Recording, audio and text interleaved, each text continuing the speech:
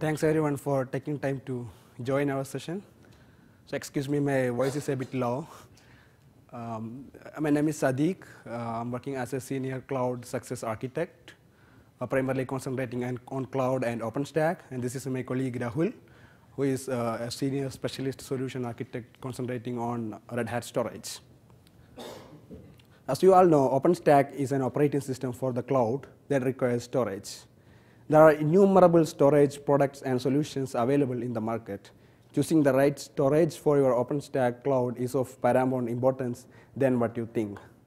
Throughout this session, we are going to help you to understand certain factors that need to be considered while architecting multiple storage backend for your OpenStack cloud to support various workloads while meeting the performance, scalability, and capacity requirements. So the goal of this session is make you capable of choosing the right storage for your OpenStack cloud yourself. Let me and Rahul help you to do that, to achieve that. So let me first explain how this presentation is organized. We will first uh, explore what are some of the basic characteristics of a cloud and, and a cloud storage. Then we will go through some of the general strategies that you need, you need to consider while uh, choosing the sto storage, for, while designing the storage for your workloads and for your, to achieve your business requirements. Then we will deep dive into certain factors that are specific to OpenStack that need, be, that need to be considered while choosing the storage for it. Then we will conclude our session by giving you a brief overview of what is Red Hat Ceph Storage and how it is, it is going to be one of the right storage for OpenStack. So let's explore some of the basic characteristics of a cloud. So for an end user, a cloud is going to give illusion of infinite cap resource capacity and on-demand scalability of those resources. So this means a cloud is massively scalable and when it comes to on-demand scalability, it's very easy to expand and fully supports on-demand rapid provisioning to meet the speed and agility requirements for your business. So the notion of under-provisioning and over-provisioning is non-existent within the cloud as a result of the inherent elasticity feature within every cloud. Using cloud, you are no longer required to worry about future business growth, and uh, you need, you need not foresee future resource requirements and over allocate, allocate them today to accommodate future expansion and, and, and growth of your business. So this is going to significantly help, help you to significantly reduce the capital expenditure for your business. So another important, uh, important characteristic of a cloud is it's going to allow you to follow or adopt a pay-as-you-go model. So that means you are going to provision the resources required for your business today, and you are going to pay for that. And if the demand for the resources is going to increase in the future, you are going to scale out, and if the demand is going to, to, to come down, then you are going to, to uh, scale down your infrastructure and resources. At any given point of time, you are going to pay for, what you, for your actual utilization. Self-service is another important characteristic of a cloud. And to achieve self-service, you need to have a robust user interface and a simplified API while fully supporting uh, isolation between multiple tenants. So why am I enumerating all these general characteristics of a cloud? Well, I am expected to talk about storage. So let's come to the point. There are three primary resource types within every cloud that powers every cloud. One is uh, compute, another one is storage, and networking. So storage is one of them, and the storage that you are going to use within the cloud must meet all, must have all the characteristics, characteristics that I just explained, just like compute and network. So let's try to understand that means uh, storage should be massively scalable and it should be very, very, very easy to expand and it should fully support on-demand rapid provisioning of uh, rapid provisioning.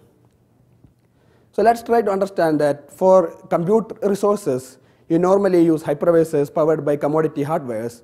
And if the increase for compute resources are going, if there is an increase for the compute resources, then uh, you, are, you can keep adding more nodes into the cluster to meet the increased requirements for, the, for, for your compute resources.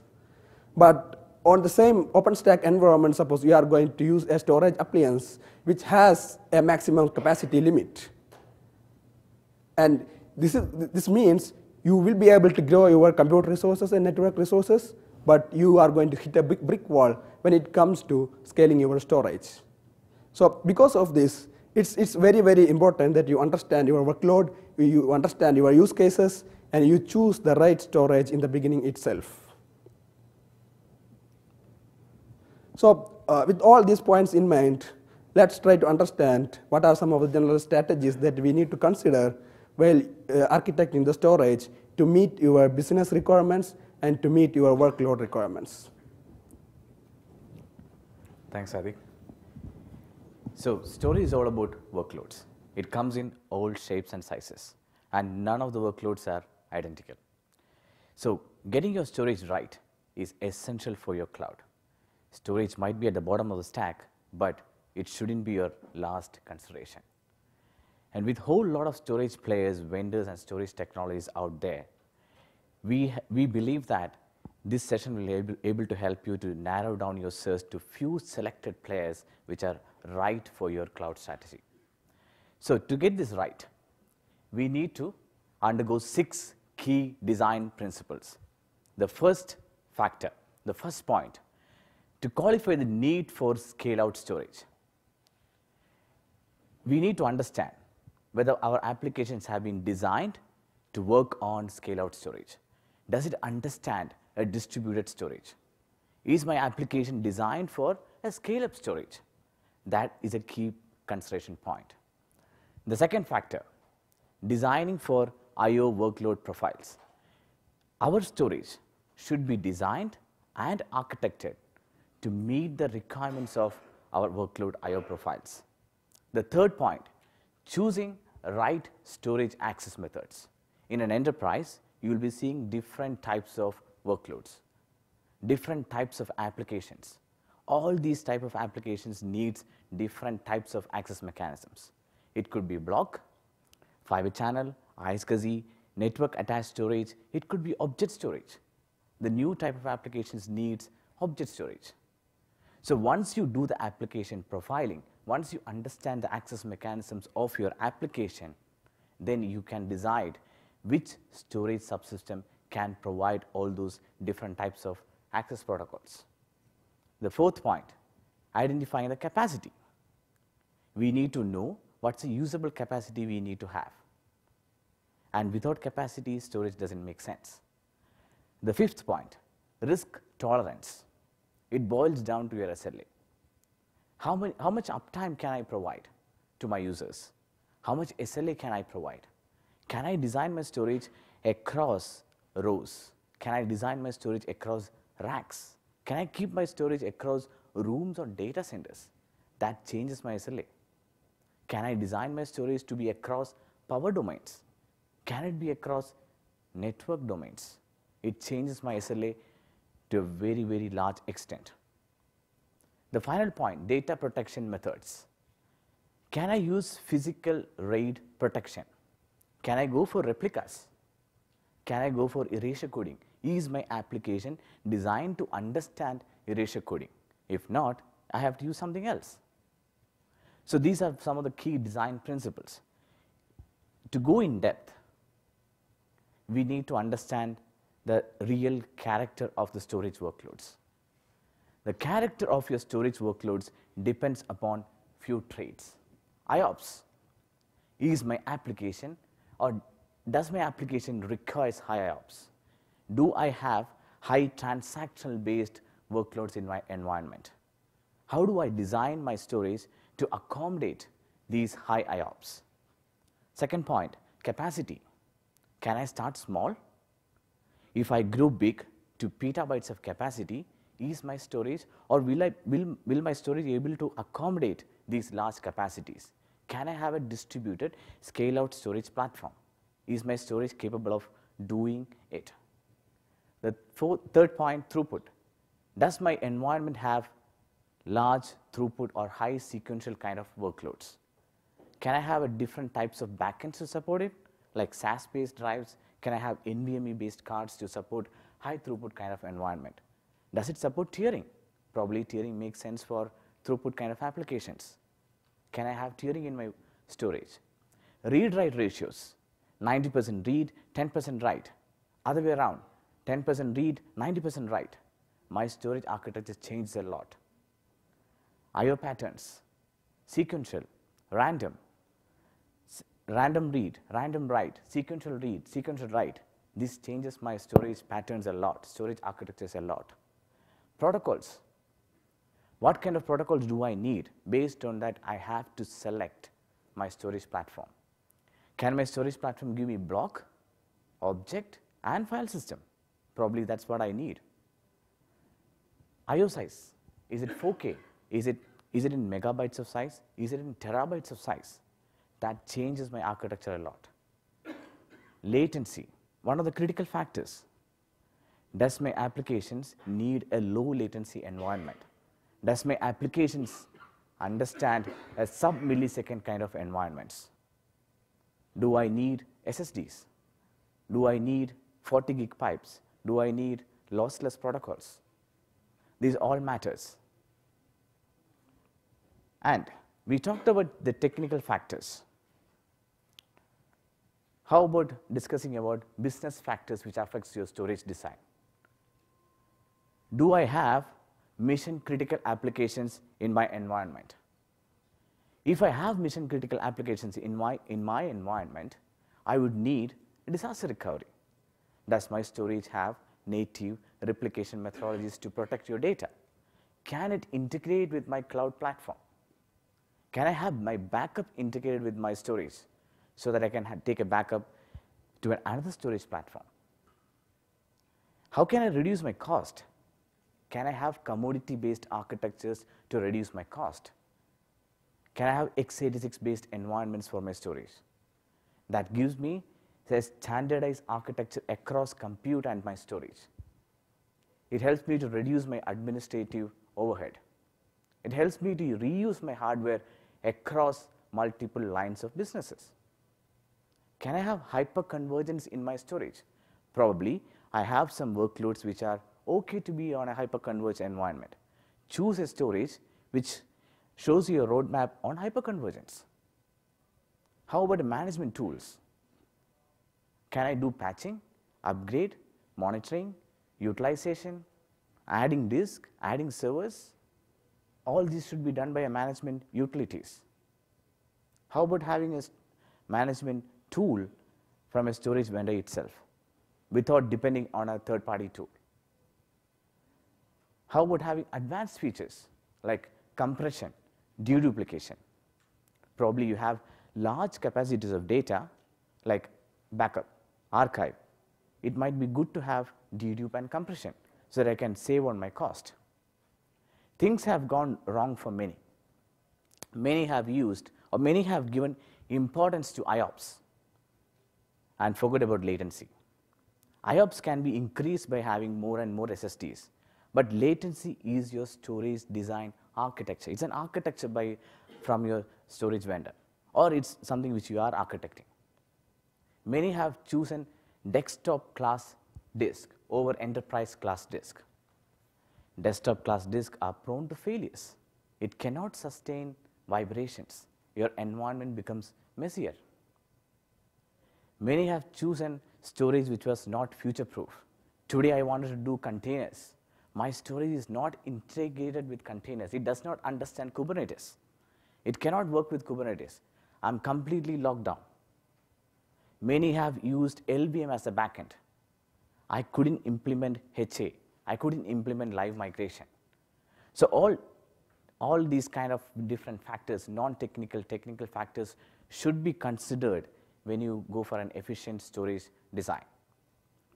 Next, we will discuss about what are the different attributes and characteristics a storage would need while integrating with OpenStack, OpenStack Cloud. Thanks, Rahul.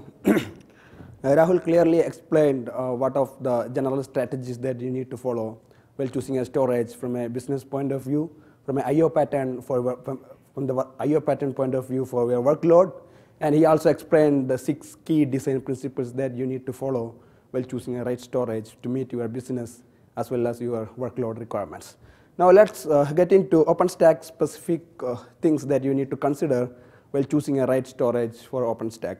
So um, uh, before going to the, uh, before starting with the, the real factors that we need to consider, let's try to understand briefly what is OpenStack. So OpenStack is an operating system for the cloud, an open source operating system for cloud infrastructure as a service. So OpenStack is a collection of services that does various functions.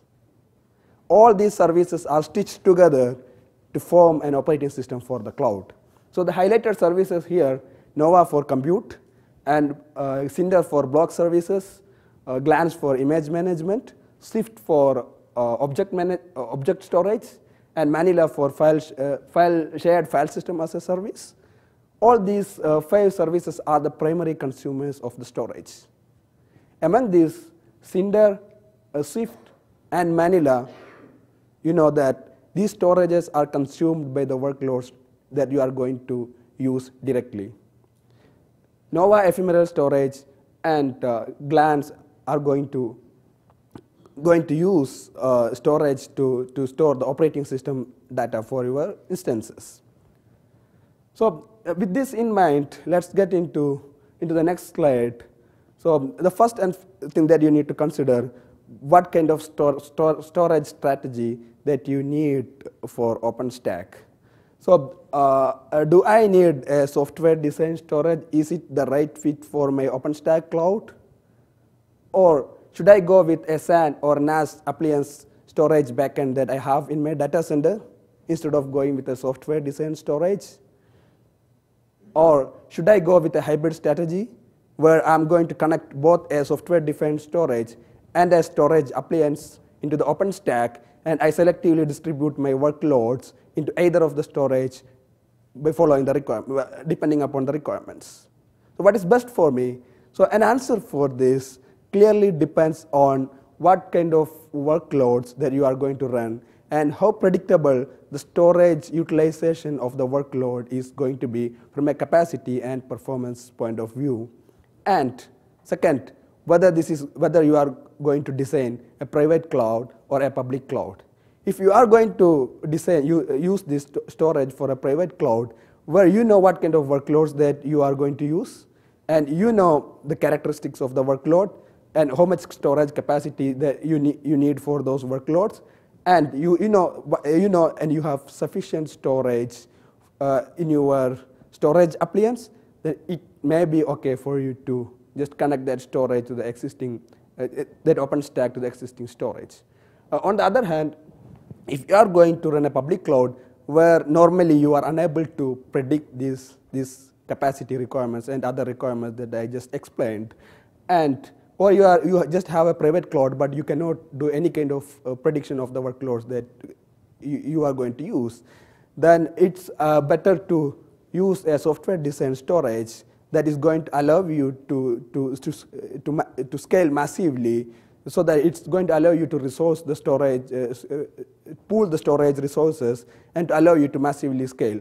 Or you can also go for a hybrid strategy where you, uh, you connect uh, some applications which requires shorter I.O. path, which are sensitive for latency, I.O. latency into the uh, uh, fiber channel storage, or, and rest of the workloads you are going to connect into the SAN storage.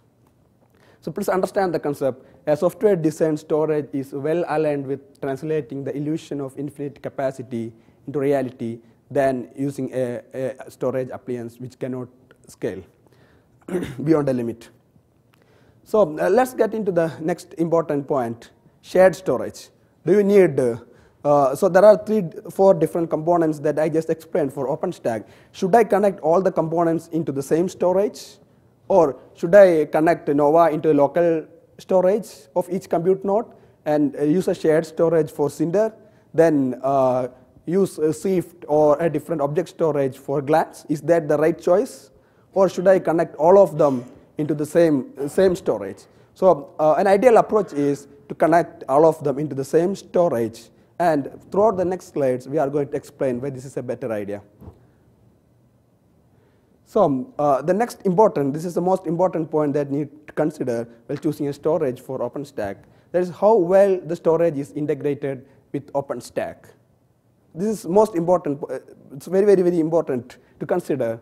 So um, to understand uh, the integration point of view, so we need to first check whether the storage vendor is, is providing a driver to integrate the OpenStack, OpenStack with the storage. If there is no driver provided the vendor, it may not be, there, there may not be any integration with OpenStack. So um, uh, to understand uh, the first integration point, you need to check whether there is an integration that uh, the driver provides to integrate Nova, Glance, and Cinder. So um, to understand uh, that concept uh, in detail, let me just uh, give you an example. So you have a requirement to, to create an application, uh, the infrastructure for an application that requires that you provision 100 instances, maybe from same image or from a different, from 100 different images. So you are going to provision that, and this need to be distributed into 100 different compute nodes. So if there is no integration between Nova, Glance, and maybe Cinder, depending upon the requirements, that means each compute node is going to download the image into the compute, compute node local storage or whatever storage Nova is going to use. So suppose uh, you have a 100 or uh, 10 GB or 20 GB image and 100 parallel downloads are going to happen, how much time it is going to take to, to finish the provisioning of the application.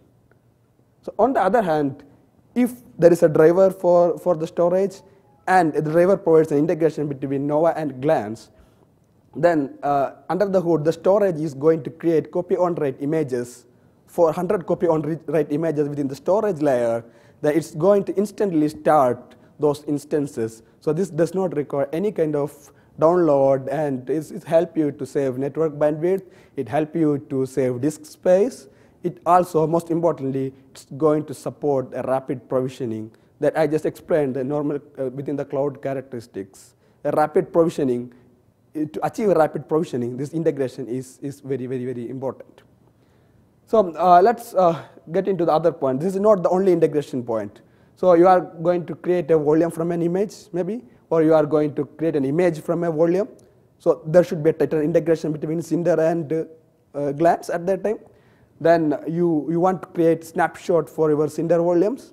So that means the snapshot functionality should be avail handled by the driver within the storage layer rather than depending on the OpenStack side. So, uh, so the driver will rapidly take a snapshot with the, using the storage functionalities and backup. Backup is also very, if the driver provides an integration for backup, then the, then the storage will take the backup of the volume rather than depending, uh, wasting the resources within the compute node. So uh, with all this in mind, first thing you, you check whether the, the vendor provides a driver, driver. If the driver has all these integration in it and maybe more. And the next important thing, how well the driver is tested and certified. If it's tested and certified by the, between I mean, uh, by the OpenStack vendor or by the storage vendor. That is also important if, if it is tested and certified, your experience with that, using with that driver is going to be seamless. And, okay. So, okay, just uh, want to reiterate, how, how do you understand this? I mean, uh, just looking at, uh, how, do, how, how can you understand whether the, there is an integration between uh, the OpenStack and storage and, and uh, whether this meets all the points that I just explained. So explicitly ask the storage vendor to prove or the OpenStack vendor to prove whether what level of integration you have with the driver. So um, you request a POC and ask the, vendor, ask the vendor to showcase how much time it takes to boot 100 instances. And what happens under the hood when I launch 100 instances simultaneously. And what happens when I take a, snapshot? What happens when I take a backup? And most importantly, check with the vendor whether there is any, uh, the storage can be integrated with the deployment tools. At least the, the, the deployment tool for OpenStack must support integration, integrating the OpenStack deployment with the storage out of the box. And as I explained, the benefits of using the integration is it helps you to save disk space, it helps you to save network bandwidth, it helps you to, support, to, to achieve rapid provisioning of the resources. So the next important point is it future proof? So as I explained, OpenStack is a collection of services. And more and more new services are getting added day by day. And there may be a requirement to have uh, storage for those new services. So in future, you realize that the current storage that I have selected cannot support my future requirements, then you are going to end up investing in a different storage technology at that, at that time. So you, even if the storage solution that you are going to choose does not have the integration uh, with the new new services, explicitly ask your storage vendor, are you planning to add support for um, maybe Hadoop integration with Sahara? Or do you support uh, containers? Or can I use OpenShift on, uh, as a backend for OpenShift or any other PaaS services? So this is, this is very, very important. And other, another important one, just Rahul explained, uh, don't choose uh, the storage that is not known to work. So that means the LVM backend, and this is good for POC and just showcase how OpenStack works, but it's never good for a production deployment because it's not going to give you the, the latency or, or any other uh, requirements that you need for your workloads. So uh, let me just summarize what I just explained. So you first look at uh, workload requirements and your business strategy, uh, your strategy to meet your business requirements. Then you are going to decide whether you need a hybrid strategy or a single storage strategy. Then you are going to, to check then what level of uh, integration is there between the storage vendor and the OpenStack. Is the driver tested and certified? And how does the driver handles various functions within the, within the uh, OpenStack? And most important, when it comes to support, is there an agreement between the OpenStack vendor and a storage vendor for collaborative support? If it is tested and certified, it's very good. If it is not, then at least the, both the vendors should be a member of uh, TSANet so that there should be a collaborative support between both vendors when you land into a problem, when you hit a problem. And uh, whether the deployment tool is capable to deploy and integrate uh, OpenStack the storage. It's too much to expect for the OpenStack deployments tool to deploy your storage, but it should support integrating OpenStack into your storage out of the box during the deployments itself. This helps you to, to manage the lifecycle for your OpenStack without any problems. And finally, is the storage future proof or not? And with that, all this in mind, I will hand over to Rahul to briefly explain uh, Red Hat Ceph Storage and how it's going to be one of the uh, right storage for OpenStack. All right. So Red Hat Ceph Storage is a distributed petabyte scalable for cloud and beyond. Ceph gives you multiple different protocols. Ceph, first of all, it's block. Ceph can give you block. Ceph can give you file systems. And Ceph can also provide you object storage. Even with that, we are now try trying to provide more and more services with Ceph we have introduced iSCSI gateways so that you can start supporting your Windows and Linux physical boxes or virtual machines. And moving forward, we anticipate that we will be able to support different hypervisors like VMware or Hyper-V. That's in the roadmap. But as of today, we support iSCSI with Windows and Linux boxes. We also have introduced NFS gateways. NFS gateways implemented on top of Rados gateways. So it's a translator which sits on top of uh, object storage which helps you to access, the legacy applications can access your object storage via NFS gateways. So in a nutshell, Ceph is able to provide you multiple different protocols, multiple different types of services so that you can accommodate different types of applications into one single storage platform. And today, Ceph is not just about scale out capacity. Ceph can support different types of I.O. criterias. It could be high IOPS, it could be high throughput or it could be high capacity intensive platform. So when we, when we think about high IOPS platform, we have certified all flash kind of arrays like Samsung, SanDisk, they have certified Ceph on all flash arrays. It also means that we can support databases like MySQL, PostGRE, MariaDB, all those databases are supported in Ceph. So low latency, high IOPS, definitely Ceph can run on that. High throughput, like media content, media, media sharing, content distribution, uh, photos, medias, large files, high throughput, fantastically works with Ceph.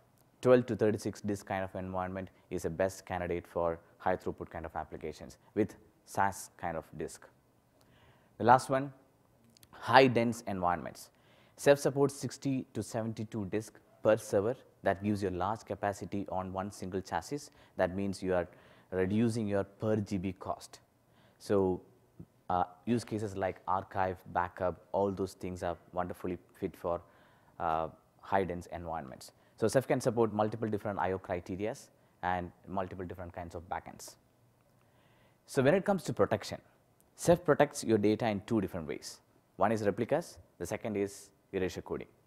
So software defined storage technologies protects data without, without physical hard, physical RAID mechanisms. So first one, replicas, Ceph by default creates three copies. It has an advantage when, whenever a disaster happens, that means when something goes wrong, when, when, when a disk, disk, disk goes out or when a server goes out, your recovery is much faster. Why? Because you don't have to recreate data from parity. It's just a matter of copying from the other copies. But it has an overhead. Because it creates three copies, it, you need three times the capacity. When you think about erasure coding, erasure coding is a software RAID mechanisms. So when we compare that with a physical RAID, physical RAID is confined within a server. If you configure a RAID 6, you can maybe you can go up to two disk of failure, two failure, two disk failures. But when it comes to a server failure, you are going to lose the whole data. But when it's a software RAID mechanism, erasure coding spans across servers. In this example, if you have six servers and if you are configuring 4 plus 2, that means your data chunks and the parity is across multiple servers. That means you can fail two disk as well as two servers. The overhead over here is that when a server fails, you have to recreate data from parity. That increases your CPU cycles and RAM capacities. But the advantage here is that it doesn't have capacity overhead. Capacity overhead is just 50 percentage. 4 plus 2 is 50 percentage. If it's 8 plus 3, it's 33 percentage, not 300 percentage like how replicas was. And com coming into features and functionalities, we had a look at OpenStack survey. So OpenStack survey says that 65 percentage of the OpenStack deployment uses Ceph as the default backend for block storage. And when it comes to Manila deployments for file systems, 53 percentage of Manila deployment uses Ceph as a backend, mainly because of a deeper, tighter integration with OpenStack. Ceph is heavily integrated with OpenStack across multiple different services which OpenStack provides, provides us. Ceph is highly scalable, petabyte scalable. We have customers using uh, Ceph for 55 petabytes, uh, 30 petabytes, 35 petabytes. So when we talk about Ceph, it's all about scale and multi-petabyte scale. Ceph supports encryption. Ceph can do automatic rebalancing. Say for example, you have 10 nodes and one node goes down. Nobody has to intervene on that. Ceph automatically recreates the data onto the other existing nine nodes. Snapshots, clones, yes, replication. Ceph do have native replication for disaster recovery and that too integrated with OpenStack. Ceph uses Crush. Ceph does not have metadata servers. That actually helps us to do a large scale out mechanism. It's a quick calculation. Ceph does not use metadata mechanisms. We do support hyperconvergence. Today, we support NFV workloads for hyperconvergence and moving forward, we are looking forward to have to accommodate general workloads for hyperconvergence. Ceph can support containers. Ceph can provide block storage to OpenShift platforms. Ceph can be deployed as a container as well. Moving forward, coming, uh, coming this June, Ceph will be able to be uh, provisioned as a container. From a support standpoint, from a subscription standpoint, one single subscription provides you all the different functionalities. Cloning, snapshots, replication, everything comes with one single subscription, not like other storage providers where you need to buy subscription or licensing for each and every functionality. Everything comes within the subscription. Online upgrades, we do support online upgrades and we do have a management console which is called Red Hat Storage Console where you can do all your utilization, management, monitoring, lifecycle, everything can be done from a management GUI. Uh, thinking from a disaster recovery standpoint, for an object storage, we do support multi-site configuration. That means you can have multiple different Ceph clusters sitting all over the world as one single global cluster, having one single namespace across all these clusters. And we do support active-active architectures. That means if you have two-site architecture, both sites can do read and write, and they protect each other having a bidirectional replication. When it comes to block storage protection, we do support replication using RBD mirroring. It's a one-to-one -one mirroring where you can fail over your cluster from one side to another when disaster happens. And that is integrated with Cinder volume replication APIs. So it's completely integrated with OpenStack for an automated disaster recovery process. Backup strategies, yes, uh, Ceph is integrated with Cinder Backup. It's integrated with Cinder Backup in such a way that you can schedule policies, you can backup your data to an another Ceph cluster. So it's completely integrated with OpenStack today. And console-wise, we talked about that. Uh, Ceph has a management GUI. This has been introduced in Ceph 2.0 in Jewel version. So it can do utilization of your RAM, CPU, network. You can do trending up to a certain extent. You can do patching, upgrades. Even you can deploy your Ceph cluster from console. But if you want to have a very customized install, you can use Ansible-based installers. The GUI can be used for a default configuration, but when it comes to customized configuration, use Ansible-based installers. Something interesting which is coming up as well, we are trying to replace file store. That means file store was a good candidate for hard disk. We are trying to replace that with BlueStore. Why? Because we are seeing more and more SSDs coming up these days, and we want to exploit the performance of SSDs.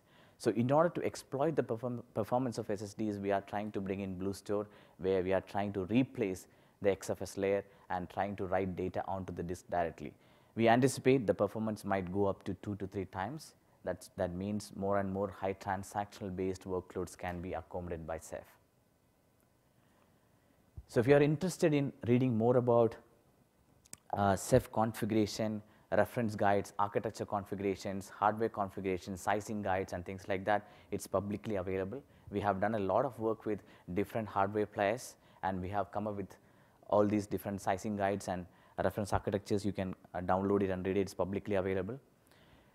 And with that, we, we would highly recommend to uh, you to go through all the six key design principles and different non-technical and technical aspects of uh, designing your storage and do consider storage as a Linux operating system.